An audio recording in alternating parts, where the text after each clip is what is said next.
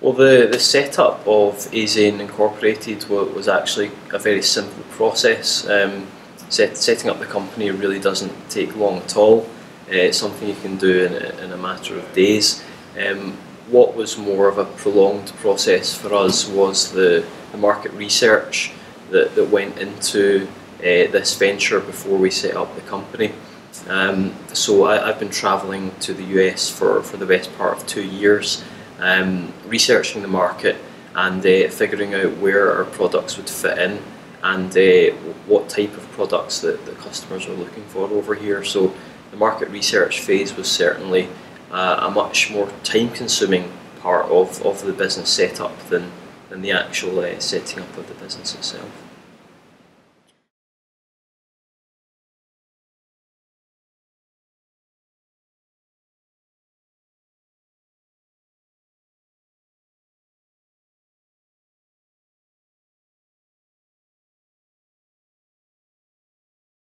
the standards which we build to in the US are different uh, to the UK um, and we've been, been very conscious of that and dedicated a lot of engineering time to ensuring that our designs comply with the, the local regulations.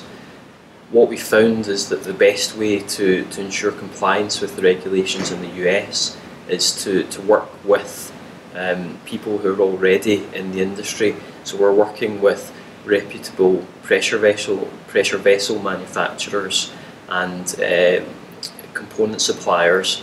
And uh, for example the, the control panel uh, is supplied by someone who, who's already a UL listed uh, shop. So by working with the, the, the, component suppliers who are already in this market um, it's actually been a, a very simple process um, to ensure that our products are compliant with US regulations. I think in when you get down to the details of what's required, the difference between the European regulations and the US regulations, uh, they're, they're not that great. Um, but having an understanding and knowing how the testing and certification works is, is where you, you need the local knowledge. So we, have been working with uh, local suppliers to help us with that.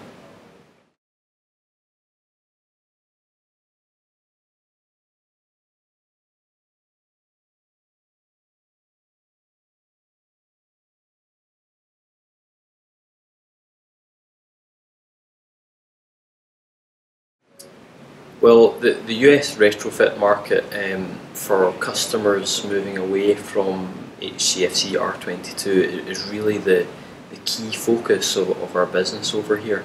Um, the, the EPA, as you say, have been phasing out R22 over the last few years, and that's set to continue uh, towards a, a, deadline of 2020 when uh, new R22 will, will stop entering the market. So what we see is that there's going to be a, a, huge market for the replacement of R22 systems. What we find that the challenge is at the moment is educating the industry and educating end users especially um, to give them the knowledge that will allow them to plan for R22 replacement um, over a timescale which suits their business and we think that the key thing at the moment is providing the information to these people so that they, they can make those plans and budget for the, the work that we'll need done to move on from R22. Uh, but we absolutely see that, that there's going to be a, a, growing market in the coming years and uh, one which we're, we're excited to be part of.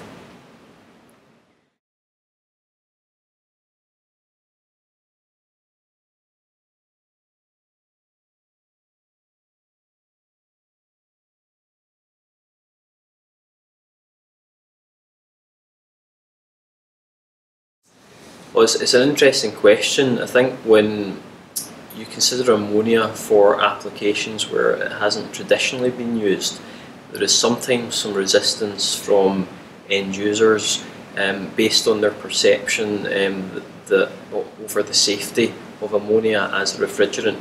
Now, the packages that we build address that by, by minimising the ammonia charge and also incorporating many safety features such as uh, gas detection which is built into the system and the automatic venting of the system um, via the, the condenser fans to ensure that any, any small leaks are, are dispersed in, in a safe manner. So what we what we see is that again it comes down to the education of the customers. They, they need to realise that the, the packages which are using ammonia these days are very different to um, the traditional ammonia systems that they may think of.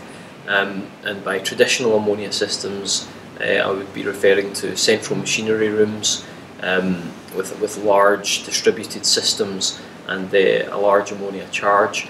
Uh, what we're offering is really it's, it's a game-changing ammonia solution um, that, that we very much think will be applicable to a number of, of applications um, and that may, may include uh, retail although perhaps not in a, a direct um, ammonia system but perhaps in a secondary system um, and there are, there are many other applications in this market that we're, we're carving out at the moment.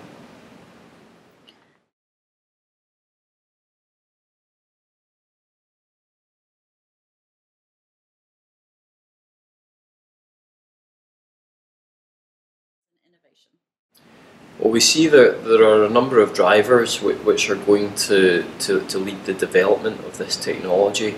Um, we've already proven the, the technology um, of our low charge systems uh, because we've been using them for, for a number of decades in Europe.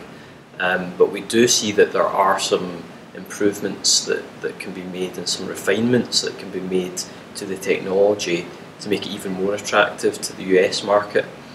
Now, the, the main um, refinements which we will see in the coming years relate to improvements in, in energy efficiency, and that may be, um, it will partly be due to the compressor technology which is used, and there are some developments um, coming to the market now which will um, lead to much more efficient systems, and it will, mean that our air-cooled systems can compete um, even even better than they are now. Um, the, the related technologies that, that we are looking to incorporate into our products um, really relate to the, the tightness of the system, and by that mean by that I mean the um, ability for the system to contain the refrigerant, refrigerant over the lifetime of the plant. And there are various technologies coming onto the market which will allow us to, to reduce leaks to an absolute minimum and and again that um, relates to, to the message that we can put to the markets that are not currently using ammonia um, that we have technology that will keep that refrigerant refrigerant within the system. Okay.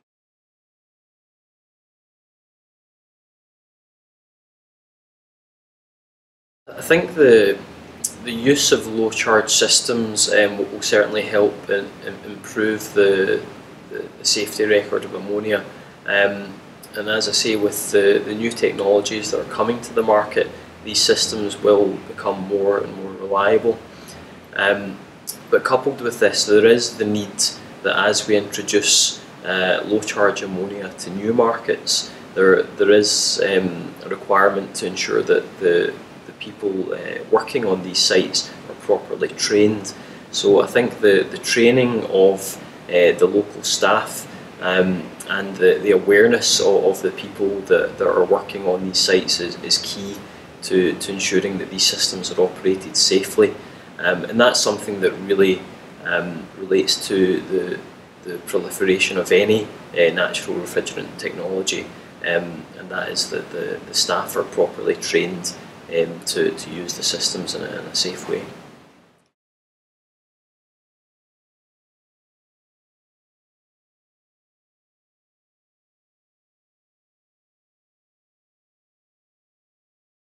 Well, we do have a we do have a number of projects in the pipeline, um, and actually uh, some of those will be in, in Latin America.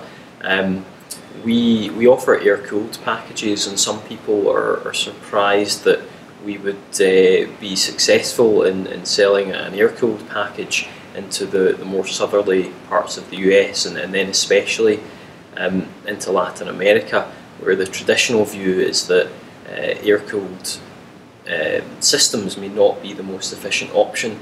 Um, but this is where we we have the experience in knowing that ammonia, which is the, the refrigerant we use for all of our packages, ammonia is a, a very efficient refrigerant at high condensing temperatures um, due to its high critical temperature. And for that reason, um, the use of air-cooled ammonia in warmer climates really does provide a, an energy efficient solution um, when compared to many HFCs. And, and that's going to be increasingly important for um, applications or locations where um, water um, is an issue, which is, is, is becoming increasingly important, um, the availability of water. And uh, an air-cooled system allows um, end users to, to reduce their dependence on water for the refrigeration system.